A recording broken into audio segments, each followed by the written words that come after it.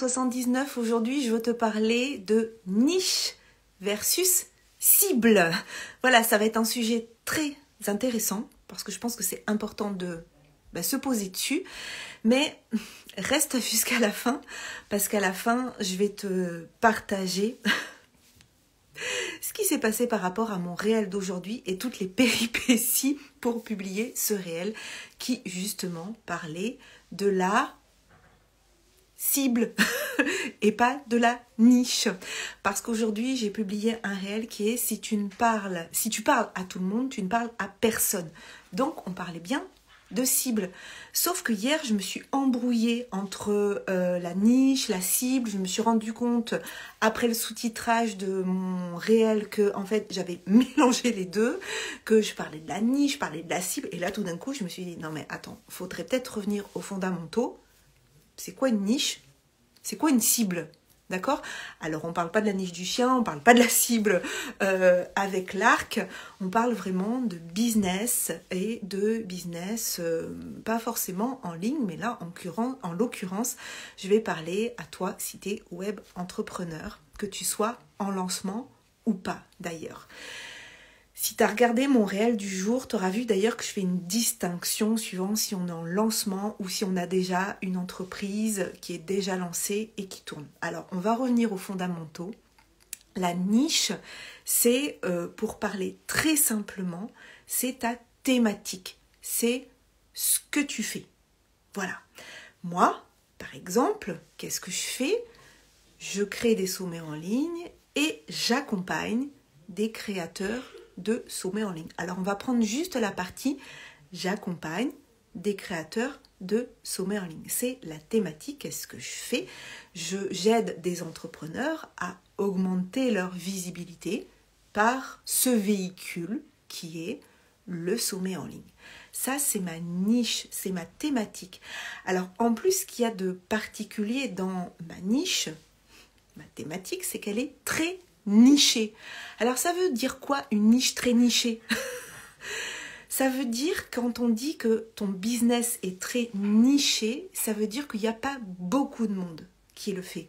En l'occurrence, moi, sur les créateurs, sur les accompagnateurs ou accompagnatrices, parce que je ne connais pas d'homme, si j'en connais un, euh, qui accompagnent des créateurs de ce on n'est pas très nombreux, en tout cas en francophonie.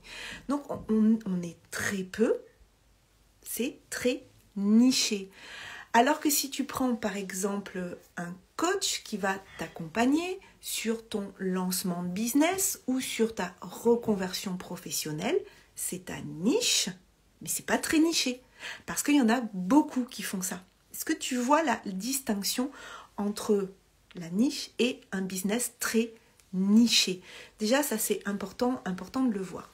Maintenant, si on parle de la cible, la cible c'est qui? La cible, c'est ton client. Et ton client idéal. Ça, c'est ta cible. Par exemple, je vais parler de moi. Ma cible, c'est pas un entrepreneur débutant. Parce qu'un entrepreneur débutant, c'est pas forcément le meilleur moyen, enfin, c'est pas forcément le plus pertinent pour lui de lancer un sommet en ligne dès le départ. Et là, ceux qui me connaissent depuis le départ vont dire Mais attends, Virginie, c'est pourtant ce que toi t'as fait.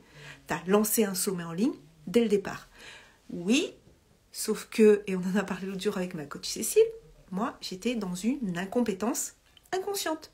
C'est-à-dire que je ne savais pas comment on lance un business. Et je ne savais pas que je ne savais pas.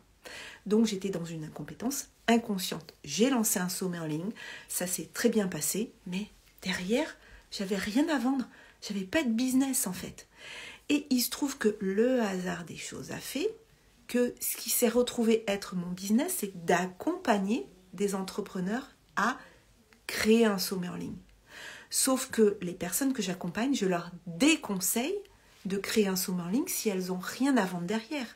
Et pour vendre quelque chose derrière après un sommet en ligne, il faut avoir déjà une expertise, il faut avoir déjà de la matière. Donc moi, ma clientèle cible, c'est l'entrepreneur qui a déjà un business, qui euh, il a déjà des résultats, ça fonctionne déjà, mais pas suffisamment. Voilà, C'est pas suffisant. Et il a déjà, il a déjà essayé des choses, mais il n'a pas les résultats qu'il souhaite. Donc, à un moment donné, ça marche déjà, il a déjà une belle expertise, il a déjà des clients, il a déjà des retours clients, il a peut-être déjà des programmes en ligne, et le sommet va lui permettre de faire un pouf, un saut quantique au niveau de la visibilité, va lui permettre de booster sa visibilité, d'augmenter la portée de son message, mais on part pas de rien. On parle de quelque chose, part de quelque chose qui existe déjà. Donc c'est ça ma cible à moi. Ma cible, c'est pas l'entrepreneur débutant, c'est l'entrepreneur intermédiaire, voire l'entrepreneur avancé. Et donc ça, c'est important d'aller voir cette différence entre la niche, c'est quoi ta thématique et est-ce que ton business est niché ou pas? Et j'ai envie de dire, c'est pas très grave s'il n'est pas niché. Voilà. Moi, il se trouve qu'on est très peu à faire ça. Il y a d'autres personnes voilà, en francophonie qui font la même chose que moi. Maintenant, ce qui va être important, qu'on ait un business niché ou pas, c'est la différenciation.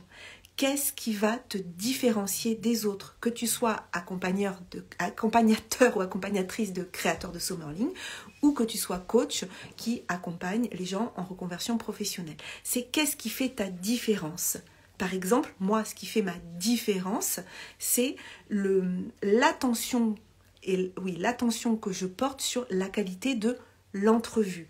J'ai dans mon accompagnement une formation qui peut être décrochée, qui est spécifique sur l'entrevue, sur comment on se prépare pour réaliser ce que j'appelle une interview wow, comment on prépare ses questions, comment on prépare son entrevue, comment on prépare par co-régulation aussi la personne qu'on a en face, comment on la met en confiance, comment on se met en confiance. Ça, c'est quelque chose qui est très différenciant chez moi, que en tout cas sur le papier, je n'ai pas retrouvé chez les autres. Ça, c'est quelque chose qui crée une différence. Il y a certainement d'autres différences, mais l'idée c'est pas pas de dire que ah les autres c'est pas bien ce qu'ils font, que nous on est meilleurs. Non, parce qu'on est tous bons. Après, il y en a qui sont très bon, mais je pense qu'on est tous bons parce qu'on fait tous du mieux qu'on peut euh, en fonction de nos capacités et donc on va capter à nous les clients qui nous correspondent, qui vibrent à la même fréquence. Et ça c'est hyper important, donc notre être, qui on est, c'est hyper important dans notre business et ça va permettre cette différenciation qui va faire que euh, dans notre business on peut quand même nicher un peu plus. Donc si tu es un coach qui accompagne la reconversion professionnelle, qu'est-ce qui te différencie? Pourquoi on te choisirait toi et pas un autre? Donc moi, c'est toujours cette question que je me pose, c'est pourquoi on me choisirait moi et pas une autre?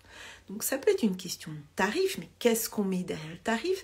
Ça peut être une question de, culture, euh, suivant le pays dans lequel on est, et ça peut être aussi une question de à qui on s'adresse quelle est notre cible.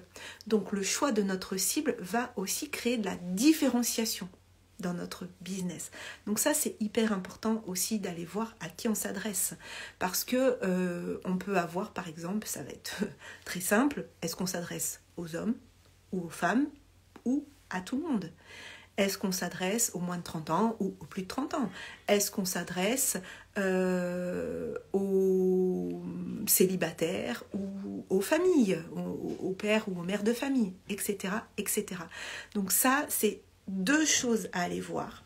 La niche qui est ta thématique, et est-ce que ton business est niché ou pas, et tout est OK et d'un autre côté ta cible.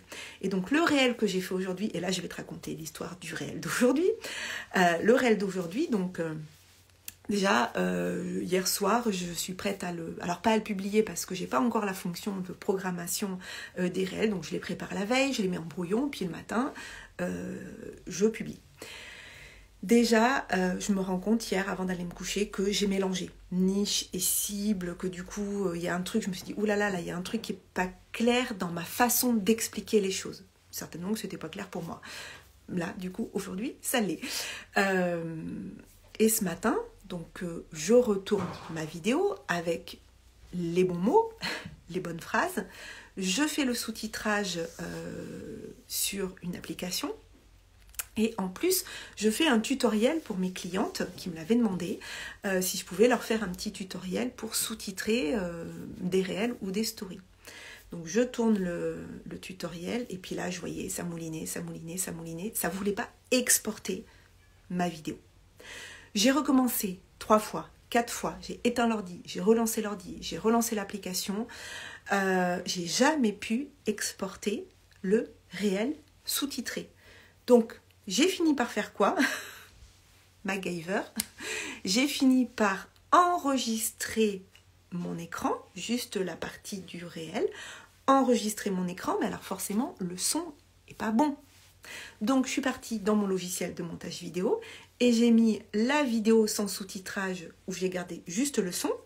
Et par-dessus j'ai mis la capture, euh, l'enregistrement d'écran avec les sous-titrages. Et donc mon réel n'est arrivé qu'à 14h, euh, non même pas, qu'à 16h cet après-midi, euh, ce réel où je, là je l'ai sous les yeux, si tu ne parles si tu parles à tout le monde, tu ne parles à personne. Voilà, donc si tu l'as pas vu, je t'invite à aller le voir. Et puis tu verras, je fais une petite distinction parce que euh, je suis pas aussi tranchée que ça sur, euh, sur la question.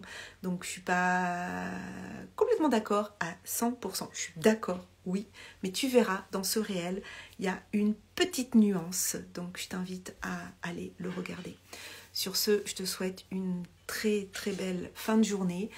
Si tu as envie de rentrer dans les coulisses de la préparation de mon nouveau sommet en ligne qui arrive fin février. Je ne sais pas si tu as vu passer sur les réseaux, mais dans mon canal Telegram, je partage du contenu exclusif et je réponds aux questions sur ma stratégie, mes chiffres, euh, mes questionnements, mes peurs, mes doutes, tout ce que tu veux savoir sur la création d'un sommet en ligne et en l'occurrence sur celui-là qui arrive dans 49 jours. Euh, tu peux rejoindre mon canal Telegram, soit tu m'envoies un message privé et je te donne le lien, soit tu cliques dans ma bio pour le rejoindre. Prends bien soin de toi et puis je te dis à demain. Bye bye, belle soirée.